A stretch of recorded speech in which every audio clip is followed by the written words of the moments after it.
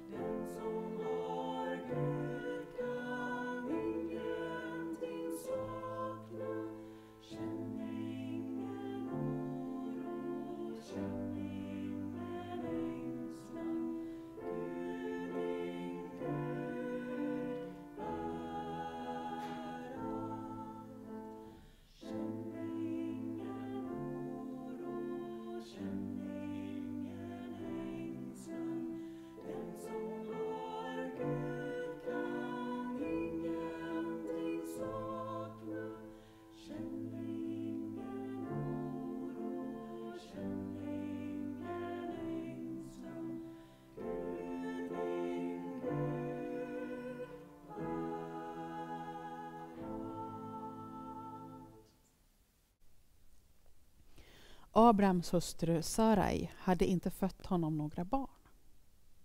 Hon hade en egyptisk slavflicka som hette Hagar. Och en dag sa Sarai till Abraham Herren har gjort mig ofruktsam. Gå till min slavflicka. Kanske kan jag få barn genom henne. Abraham samtyckte och så tog Sarai, Abrahams hustru, sin egyptiska slavflicka Hagar och gav henne åt sin man. Abraham hade då bott tio år i Kanan. Abraham låg med Hagar och hon blev havande. Men när hon märkte att hon väntade barn började hon se ner på sin matmor. Då sa Sarai till Abraham Denna skymf är ditt fel jag la själv min slavflicka i din famn, men när hon märkte att hon väntade barn började hon se ner på mig. Herren må döma mellan mig och dig. Abraham svarade Sarai.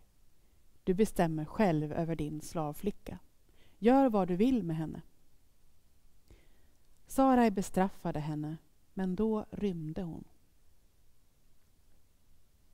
Herrens ängel fann henne vid en källa i öknen källan på vägen till Shur.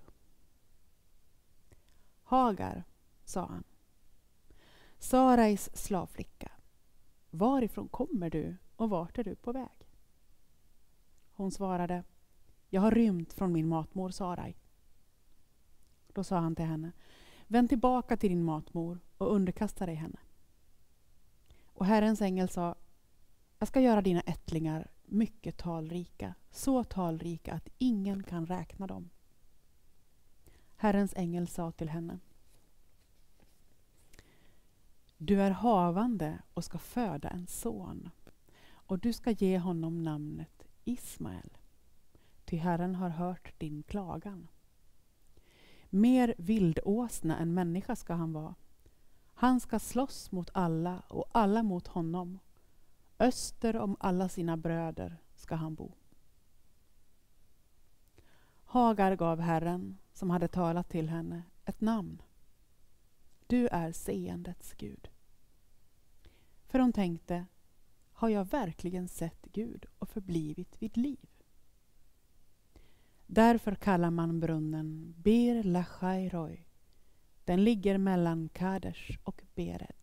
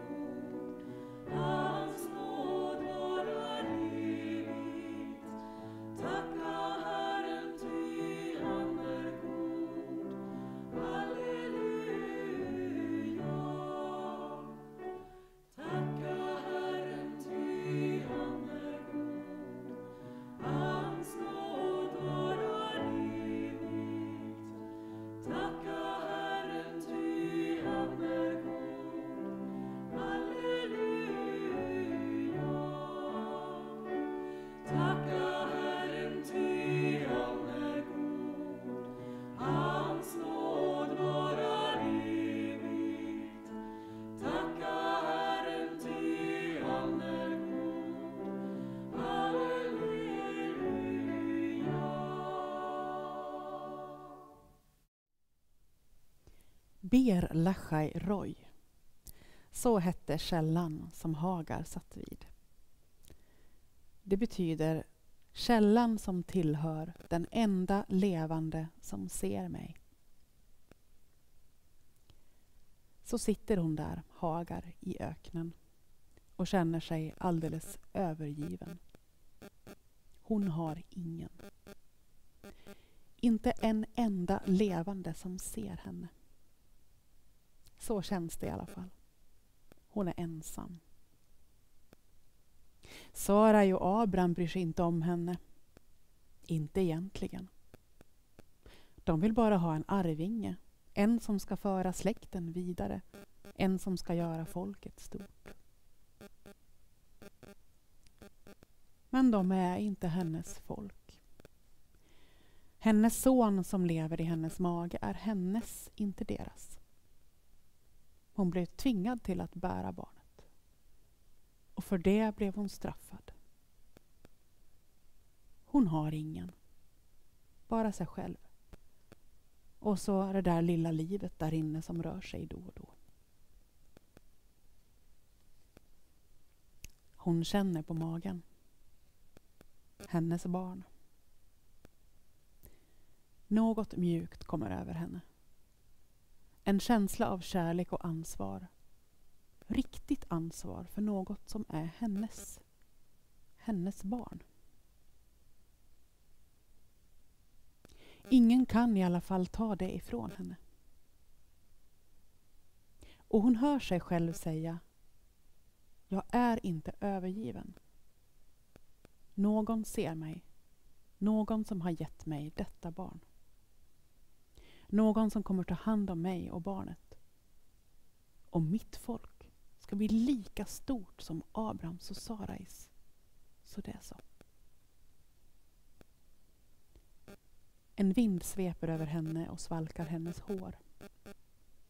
Plötsligt, när tårarna inte längre bränner över hennes kinder, så kan hon se klart. Och när gråten inte längre blir hennes enda ljud hör hon tydligt. Hon hör att hon inte är ensam. Hon ser att det finns någon där som talar till henne. Seendets Gud, den levande guden. Den som ser henne, just henne, henne och hennes barn. Hon återvänder till lägret med en ny känsla i bröstet. En känsla av hopp, stolthet och framtidstro. Hagar. Hon som såg Gud och överlevde. Amen.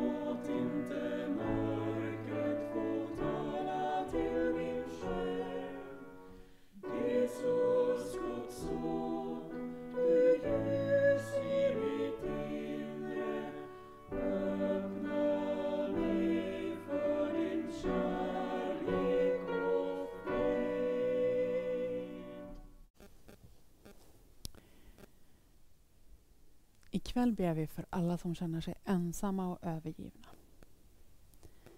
Du är inte ensam och vi är många som vet hur det känns att känna så. Vi ber också för att vi ska få kraft att vända oss till varandra och se varandra. Och verkligen bry oss om varandra på riktigt.